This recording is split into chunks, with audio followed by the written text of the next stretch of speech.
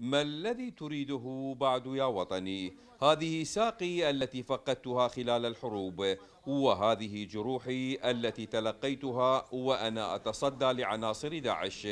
بكل هذا الألم وخطوات بالكاد يوازنها دخل هذا الرجل مجلس محافظة ديالى مطالبا بحقوقه بعدما عجز عن نيلها بسبب ما وصفه بتعسف القائمين على الدوائر المعنية وجلهم من عشيرة بني تميم وانحيازهم لأقاربهم على حساب المهنية والحقوق المشروعة حسب قوله. يعني هي ظلت بلدية ظلت دائرة ظلت قضاء ظلت حكم. أقول لك هي شنو؟ غارة غارة عشيرة غارة مال عشيرة بني تميم. يعني بدل دفتيماني هسه شنو عندنا إحنا؟ إحنا جايين خدام بدنا نخدم خب خلي يحط أي واحد خلي يجيبون الأفضل من أي عشيرة.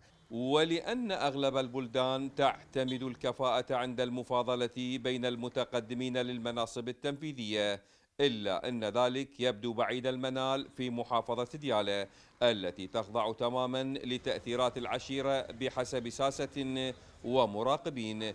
فأغلب المناصب المهمة لبني تميم وقد انعكس ذلك سلبا على أوضاع المحافظة عموما.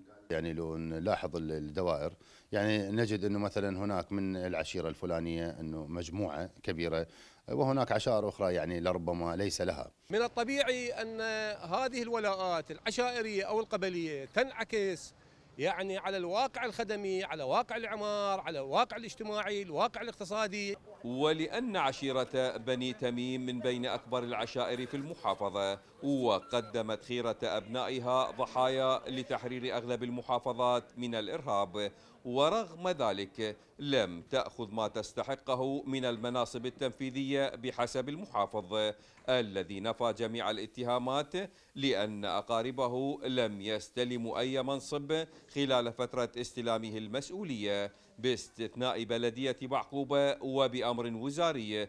متهما البعض بإثارة الشارع عن طريق الاعتصامات ولأغراض شخصية. قبل مجيئي للمحافظة كان مناصب لدى آه، بني تميم أكثر من الوقت الحاضر. هاي واحد.